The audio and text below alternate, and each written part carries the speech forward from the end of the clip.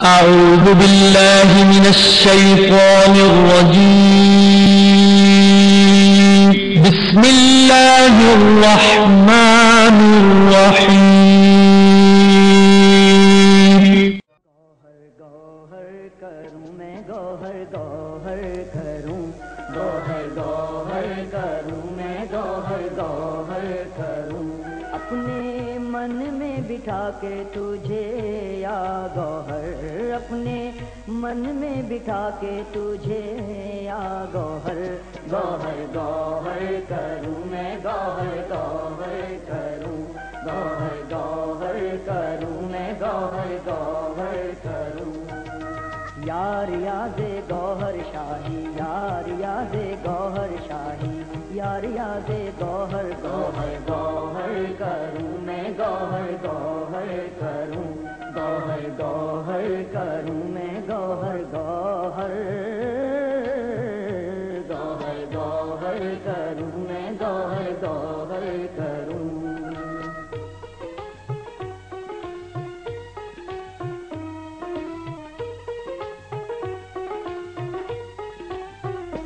तेरा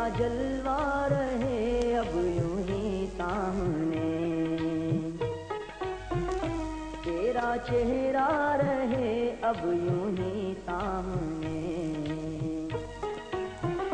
तेरा जलवा रहे अब यूँ ही सामने। तेरा चेहरा रहे अब यूँ ही सामने। ऐसे दर्शन करूँ।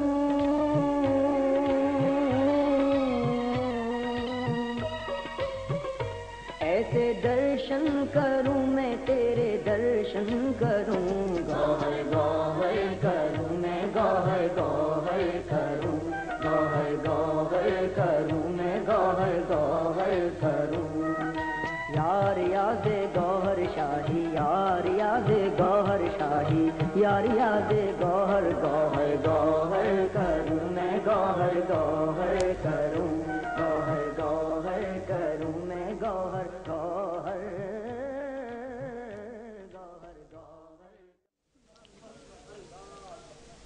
अब आगे वली की नमाज़ है। वली की नमाज़ क्या है? एक दफ़ा मजद साहब मस्जिद में गए, देखा है एक आदमी सो रहा है। समझा नमाज़ पढ़ के सोया होगा? फिर गए, देखा सो रहा है। आप असर से मगरब तक मस्जिद में रहते, मगरब की आजान हो रही है, वो सो रहा है। तो आपको बड़ा गुस्सा आया।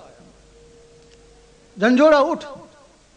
या मस्जिद से निकल या नमाज़ पढ़। वो फ़ौरन उठा, वुजू किया, जमात खड़ी होने वाली थी। बुलंद आवाज़ से कहा, इमाम साहब रुक जाएँ, इमाम साहब रुक गए। उसने फ़ौरन नीति दौर का सुन्नत, वक्त फजर, सारे देखते हैं, फजर का समा हो गया। फिर उसने ज़ोर की नमाज़ पढ़ी ज़ोर का समा हो गया। असर की नमाज़ पढ़ी, एक रावी लिखता है, सूरज वापस आ गया।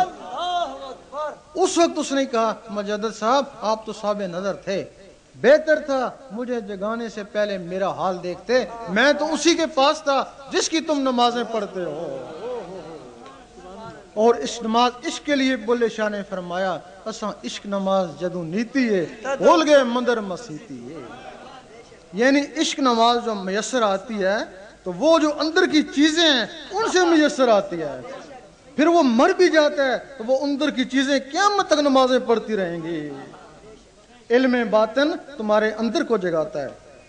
इल्म जहर कालब को साफ़ करता है। इल्म बातन कलब को साफ़ करता है। ये मकान है। आप सारा दिन, सारी उम्र उसको बाहर से साफ़ कर रहे हैं। सारी उम्र बाहर से चमका रहे हैं कि लोग देखेंगे। लेकिन जब कभी मेहमान आया, वो तो अंदर का रुख करेगा ना।